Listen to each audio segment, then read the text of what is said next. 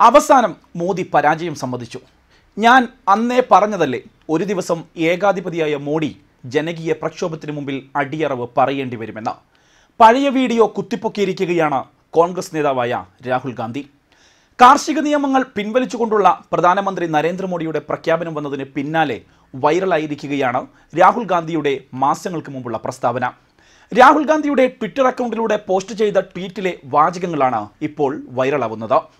ഈ വർഷം ജനുവരി പതിനാലിന് മാധ്യമങ്ങളോട് സംസാരിക്കവേ രാഹുൽ നടത്തിയ പ്രസ്താവനയാണ് ഇത്.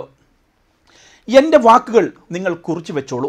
കാർഷിക വിരുദ്ധ നിയമങ്ങൾ സർക്കാരിന് പിൻവലിക്കേണ്ടി വരും എന്നാണ് അന്ന് രാഹുൽ ഗാന്ധി പ്രസ്താവിച്ചത്. ഇതിന്റെ ലഘു വീഡിയോയാണ് രാഹുൽ ഗാന്ധിയുടെ ട്വിറ്റർ അക്കൗണ്ടിലൂടെ അന്ന് പുറത്തുവിട്ടത്. ഇന്നത്തെ പ്രധാനമന്ത്രിയുടെ പ്രഖ്യാപനത്തിന് പിന്നാലെ നിരവധി പേർ ഈ ട്വീറ്റ് റീട്വീറ്റ് ചെയ്യുന്നുണ്ട്. ഇപ്പോൾ നടക്കുന്ന സമരത്തിൽ എനിക്ക് അഭിമാനമുണ്ട്. അവർക്ക് എന്റെ പൂർണ പിന്തുണയുമുണ്ട്. അവർക്കൊപ്പം നിൽക്കും. കാർഷിക നിയമങ്ങൾ പിൻവലിക്കാൻ സർക്കാർ നിർബന്ധിതരാകും. എന്റെ വാക്കുകൾ കുറിച്ചു വെച്ചോളൂ. ഇരുപത്തിരണ്ട് സെക്കൻഡ് വീഡിയോയിലെ വാക്കുകൾ ഇങ്ങനെയാണ്. ഇന്ന് രാവിലെ ഒൻപത് മണിക്ക് രാജ്യത്തെ അഭിസംബോധന ചെയ്താണ് വിവാദ കാർഷിക നിയമങ്ങൾ പിൻവലിക്കാനുള്ള കേന്ദ്ര സർക്കാർ തീരുമാനം പ്രധാനമന്ത്രി നരേന്ദ്രമോദി പ്രഖ്യാപിച്ചത്. എതിർപ്പുയർന്ന മൂന്ന് നിയമങ്ങളും പിൻവലിക്കുമെന്നും നിയമം ചിലർക്ക് ബുദ്ധിമുട്ടായ സാഹചര്യത്തിലാണ് പിൻവലിക്കാൻ തീരുമാനമെടുത്തത് എന്നും പ്രധാനമന്ത്രി നരേന്ദ്രമോദി രാജ്യത്തെ അഭിസംബോധന ചെയ്തുകൊണ്ട് പറഞ്ഞു. ഗുരുനാനാക്ക് ദിനത്തിലാണ് നിർണായക പ്രഖ്യാപനം പ്രധാനമന്ത്രി നടത്തിയത്. കർഷകരുടെ പ്രതിസന്ധി തനിക്ക് മനസ്സിലാക്കാനായെന്നും കർഷകരുടെ അഭിവൃദ്ധിക്കാണ് പ്രാധാന്യം നൽകുന്നത് എന്നുമാണ് പ്രധാനമന്ത്രി പ്രഖ്യാപന വേളയിൽ പറഞ്ഞത്. ഉൽപ്പന്നങ്ങളുടെ താങ്ങുവിലയടക്കം പരിശോധിക്കാൻ പ്രത്യേക സമിതി നിലവിൽ വരും. കേന്ദ്ര സർക്കാരിന്റെയും കർഷക സംഘടനകളുടെയും പ്രതിനിധികൾക്ക് സമിതിയിൽ പ്രാതിനിധ്യമുണ്ടാകും. സമരം അവസാനിപ്പിക്കണമെന്നും കർഷകരോട് പ്രധാനമന്ത്രി ആവശ്യപ്പെട്ടു. കടുത്ത തണുപ്പിനെയും ചൂടിനെയും അവഗണിച്ചാണ് കർഷകർ കാർഷിക നിയമങ്ങൾ നടപ്പാക്കുന്നതിന് എതിരെയും കേന്ദ്ര സർക്കാർ നയങ്ങൾക്കെതിരെയും തെരുവിൽ സമരം ചെയ്തത്. സ്ത്രീകളും കുട്ടികളും പ്രായമായവരുമടക്കം നിയമങ്ങൾക്കെതിരെ സമരവുമായി രംഗത്തെത്തി. എന്നാൽ സമരവേളയിലെല്ലാം കർഷകരെ തള്ളിയും പരിഹസിച്ചുമാണ് മുതിർന്ന കേന്ദ്രമന്ത്രിമാരടക്കം പ്രതികരിച്ചത്. ഒടുവിൽ കേന്ദ്ര സർക്കാരിന് രാജ്യത്തെ കർഷകർക്ക് മുമ്പിൽ മുട്ടുമടക്കേണ്ടി വന്നു. ചരിത്ര വിജയമാണ് ഇത് എന്നും കർഷക വിജയമാണ് ഇത് എന്നുമാണ് അഖിലേന്ത്യാ കിസാൻ സഭ പ്രധാനമന്ത്രിയുടെ പ്രഖ്യാപനത്തോട് പ്രതികരിച്ചത്.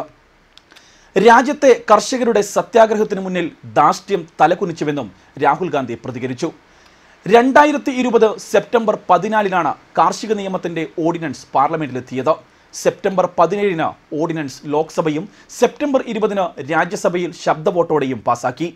പ്രതിപക്ഷ പാർട്ടികളുടെ പ്രതിഷേധങ്ങളെ വകവെക്കാതെയായിരുന്നു പാർലമെന്റിലെ ഈ നടപടി. പഞ്ചാബിൽ നിന്നുമാണ് കാർഷിക നിയമങ്ങൾക്കെതിരായ ആദ്യ സമരമുണ്ടായത്. രണ്ടായിരത്തി ഇരുപത് സെപ്റ്റംബർ ഇരുപത്തിനാലിലാണ് നിയമത്തിനെതിരെ പഞ്ചാബിൽ കർഷകർ സമരത്തിനിറങ്ങിയത്.